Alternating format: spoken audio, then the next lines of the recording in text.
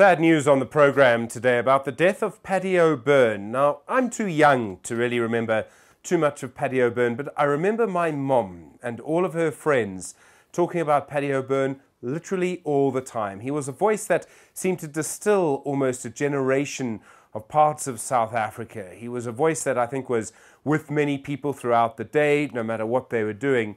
And one of the reasons that I've always enjoyed listening to old clips of Paddy O'Byrne was that he was clearly a naturally gifted broadcaster in an age in which people nowadays have to look a certain way to be good on radio. He was someone who simply had a voice and he spoke so effortlessly. He could just talk. He was so funny. And I always remember so clearly just before an advert break for a certain magazine when he just went, Oh no, it's you again. Paddy O'Byrne, we'll miss you.